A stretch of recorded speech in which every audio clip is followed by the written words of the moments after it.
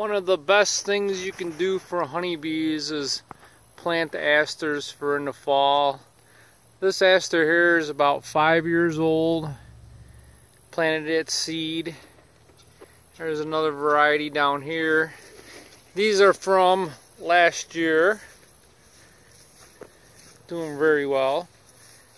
And then these are from three years ago that I planted from seed. They're doing very well. That's the beehive guys, one of them. A couple more over there. And then also I wanted to show you another set of asters.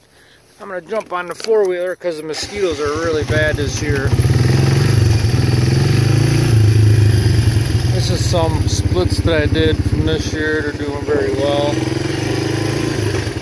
Now these asters are two years old just rototill the section in the fall and planted the seeds right in the ground.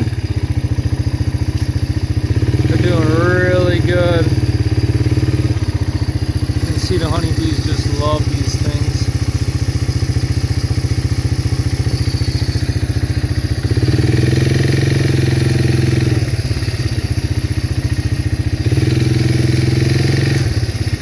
It doesn't take long to come up.